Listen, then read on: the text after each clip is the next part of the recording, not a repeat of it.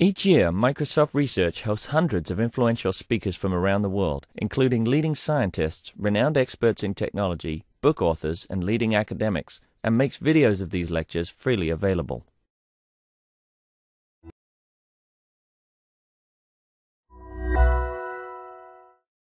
All right, so hello. Uh, always a danger to be in between uh, just before the lunch. So I'll try to be quick. So this is really, uh, the work was done with uh, Fajwel Fogel, who is still a, a PhD student. Uh, we have this uh, MSR INRIA uh, Research Center, Joint Research Center in Paris. And th this is his uh, advisor. So the work was done pretty much last year. He paid a visit. Um, all right, so it's pretty much based on a paper. It's a NIPS paper. There's a web page with a code, uh, some examples, and things like this.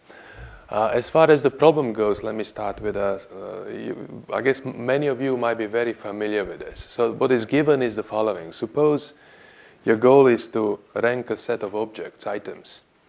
And what is given to you as input is uh, basically information about pairwise comparisons. So C is going to be a comparison matrix so having a 1 if i is ranked higher than j, observed to be ranked higher than j. 0 if, for example, there is a draw or there, is a missing comparison, and minus 1 if otherwise i is ranked lower than j. So this is very standard. Now, this is the input, and then you want to order items in an order, natural order, uh, in some way kind of uh, is aligned with what is given to you.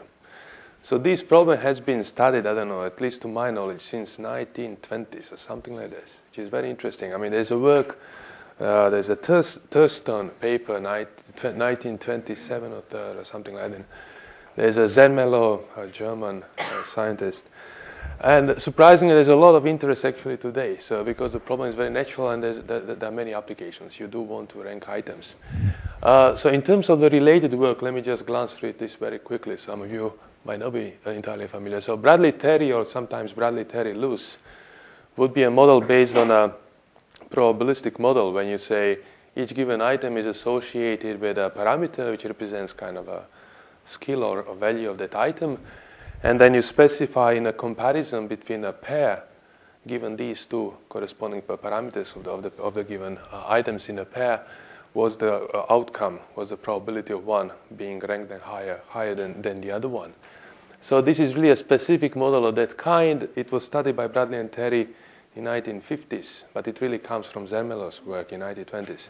Anyway, so, and then there's this piece uh, of a very recent work, actually, people from MIT studying pretty much the same model, but not looking into maximum likelihood estimate of these uh, parameters representing skills or uh, values of items, but looking into something else which might be for various reasons. One reason is if you look into a different scheme so as to estimate these parameters, you may say actually something about a, a problem. For example, you may specify how many uh, pairwise comparison is enough to observe so as to rank within some accuracy error or uh, within some precision. Eh? Uh, Thurstone, this is I mentioned, there's a well-known example, true TrueSkill, something uh, developed actually in this lab. And then there are these other schemes. So somehow you may bucket these given two to be based on a probabilistic model when there are latent uh, parameters. And then these other ones are kind of, I don't know, common, some of them common sense schemes. For example, it's very natural to maybe associate it, each item with a point score representing uh, goodness of behavior. And for example, that could be just counting the number of wins against other items, if you like. So I don't know, in football leagues, typically you have kind of something similar to this, not exactly the same. And then there are a bunch of these other schemes, which is kind of PageRank style, compute a principal eigenvector, which may be seen as a way kind of to account to wins which are not direct wins. So it's not only counting I, a given item won against a particular item, but also you look into multiple hops. So I guess many of you might be very familiar with this. So what our work is about is kind of look into a different way to do this, which is very simple idea, which goes as follows. So again, we are given this comparison matrix, and instead of looking into kind of scores, which associate to item as, as a starting point, we are going to look at how different uh, pairs compare in competitions with kind of other alternatives or items. So i and j. So, so let's see in the picture what this equation means. So it would mean the following. If I take consider an i and j pair, and then you take a reference, item k, you say you score a, a plus 1. Uh, because they actually, they both, this would mean they both won against k, for example. Likewise, if they both lost, you score a plus 1.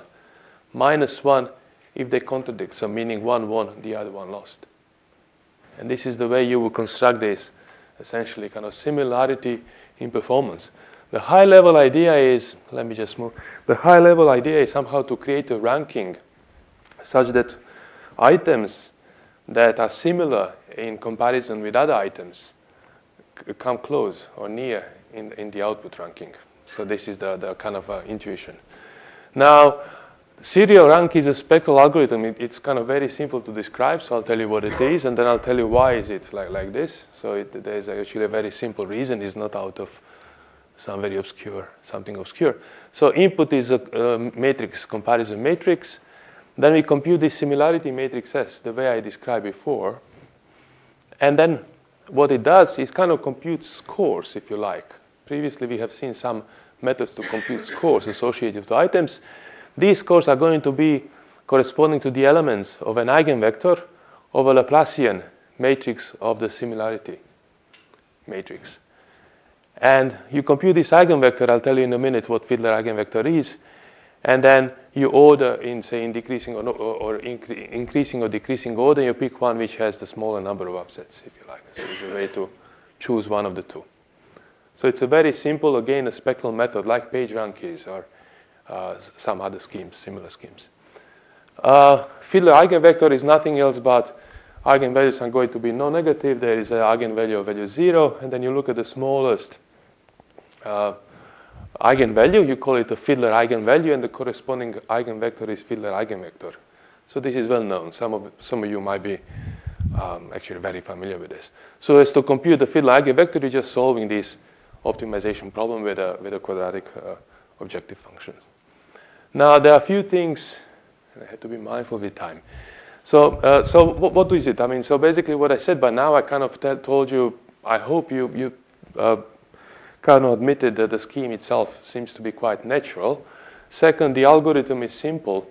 I haven't said maybe why is it like that. And what kind of questions you want to study is to see whether actually this ranking actually makes sense. Is it efficient? Is it able to recover, uh, say, a true ranking if you define what the true ranking is, and uh, say accurately, exactly, or maybe within some approximation? So a very kind of in terms of the framework, what is very convenient is to consider this notion of Robinson matrices. So think of this as a matrix symmetric matrix which has this property. So there's certain monotonicity order. It's a class of matrices. We say it's a Robinson matrix if that holds. We say pre-R, it will be a pre-R, pre-Robinson. If you can find, if you can permute rows and columns by a given permutation so that the resulting matrix becomes an R matrix, and then we say it's strict if the only two permutations that actually can do that are identity uh, or reverse. Right, so this is like just, a, just to maybe say a few things.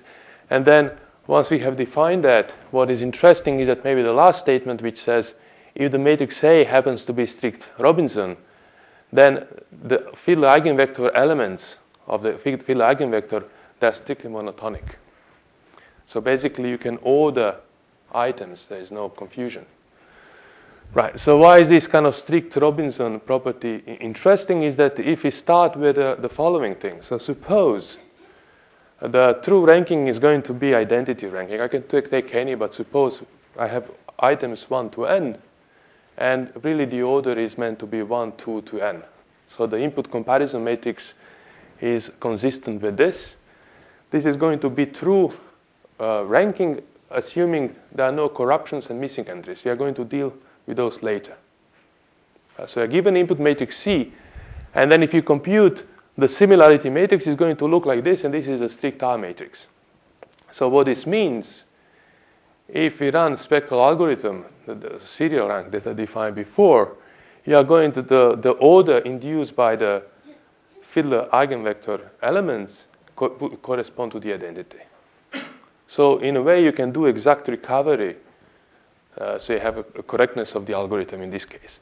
Now, in reality, you're not going to find these matrices. This will be like a, a very simple. So basically, if we assume you have for each given pair is compared, and it's like really there are no contradictions. In reality, there are going to be missing entries, a few few pair, pair comparisons observed, and contradicting. You know, the, transitivity may not necessarily hold. Right. So, but it's a good starting point to start with something that you may corrupt, and then see when you add these corruptions or kind of noise to what extent the scheme is robust.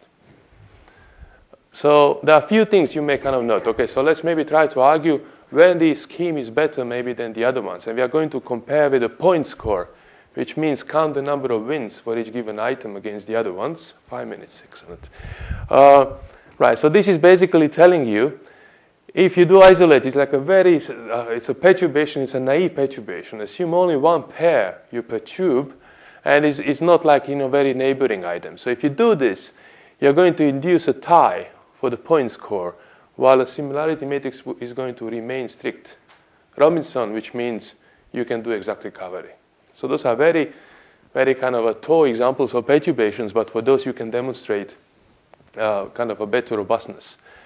You can extend these to M pair comparisons. You have the same claim, so you can do a little bit, little bit of extra.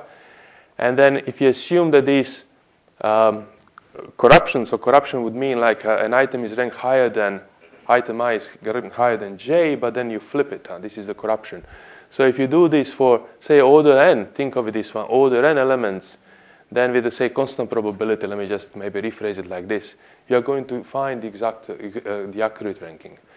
So this is maybe the last theoretical result. So pretty much in the paper, NIPS paper, we have kinds of these things and something that, some things that are omitted. This is more of a work in progress. It's something we want to establish.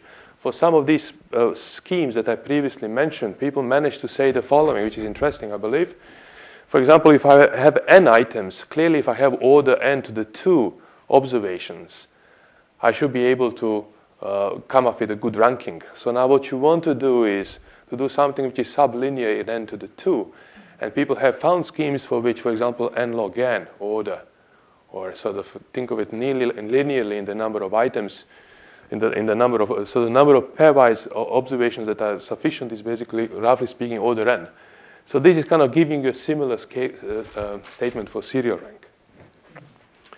Uh, so uh, pretty much it's like, think of this result as kind of being nearly proved. So uh, it's still not entirely. So it relies on kind of some perturbation of matrices, uh, spectral analysis and things like this.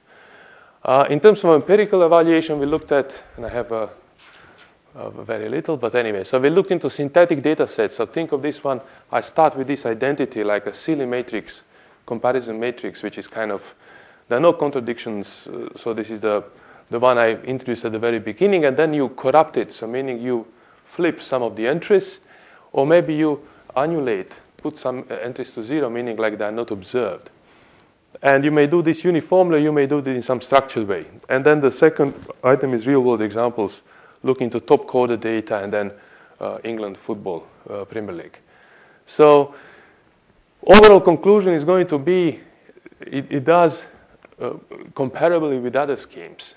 So what, what do we have on this plot? Maybe let's start with one just to explain it. And then serial rank is the one I described. This is the point score. This is the rank centrality, which is kind of think of it, uh, Bradley Terry particular way to estimate parameters, and this is the maximum likelihood Bradley-Terry. So this is a, a, correlation coefficient. The higher, the better. So you'll see pretty much all of these other schemes, they line up to this curve. We do slightly better in here. So the higher, the better. But it is not always like this. There are certainly cases where actually we do worse. For example, in here, the red one. So point score is going to perform worse, but then Bradley-Terry would be better. Uh, but overall not too far off. It's not really kind of, it's not a crazy scheme to do, a crazy algorithm to do. Again, this, is, this one is to our favor, pretty much the same, but this is like a missing entries and with some corruptions and something like this. In terms of real world, I just maybe fast forward. So this will be TopCoder data, and here actually it, it does quite well. So this is looking into number of upsets, or kind of the uh, non-conforming uh, uh, orderings with respect to the uh, given input data for top k uh, ranked items. So the serial rank is going to be a red one. And you see that some of the schemes actually are way worse. This will be the point score. There's quite a bit of a gap between the two. And then the red one actually is not too bad. I mean, sometimes it is beaten up by another one, but it's not very conclusive. There's no strict order uh, between those schemes. Uh, this is similar data, but for football, this is the Premier English Premier, Premier League 2013-14 uh, or something like this. And maybe this is the, nearly the last slide, so I hope I'm within time limits. This is if you do, it was really 2013-14 football data, if you do all of these different ways. So this is the official like a three-point win scheme, which is commonly used in football, that the standard way to do. This is the point score or row sum, rank centrality, Terry, serial rank, and something else. Let me not go into it. So overall, I don't know, there is some agreement to the top as you would expect then at the end. I don't know, you'll see some noise overall in here. Kind of surprisingly, there is a, all of these schemes or uh, ranking methods, not all of them, this one actually is a way off.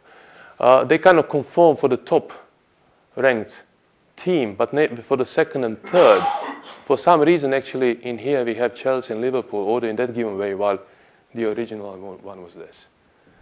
So I don't know. So one may look more closely into what happened. Maybe the Chelsea overall was performing uh, similarly as Man Manchester City in comparison with other teams. That's kind of a very intuitive way maybe to explain it. Anyway, so in summary, it's kind of a, I think, I don't know, to my knowledge, is a new way, kind of principal way to do ranking based on this kind of notion of similarity. There is a spectral algorithm for it. And what we aim to do is really kind of get some sense whether this algorithm makes sense at all and how robust it is to corruptions, uh, missing entries, and things like this. And I glanced through empirical results. And anyway, so I'll stop at this point.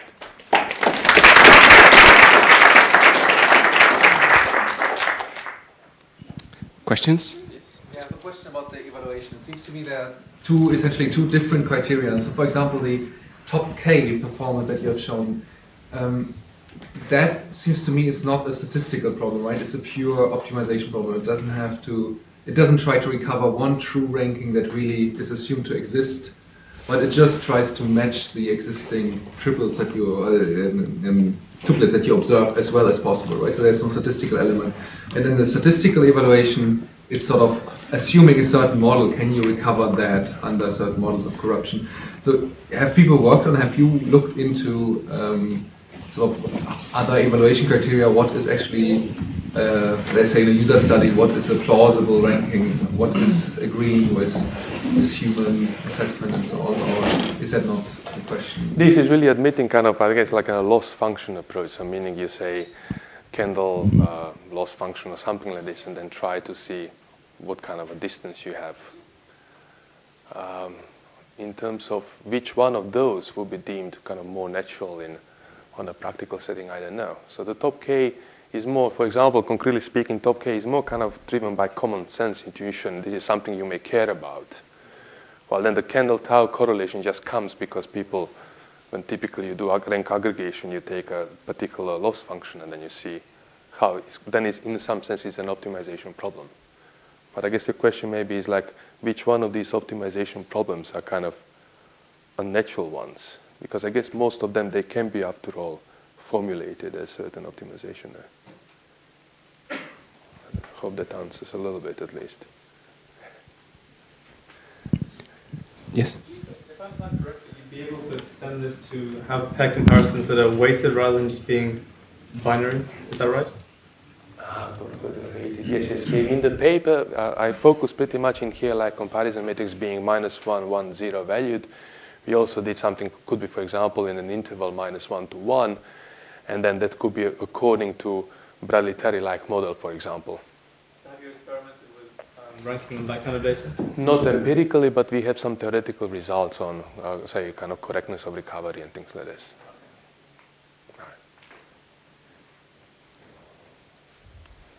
Okay, any more questions? Otherwise, let's thank, thank Milan again.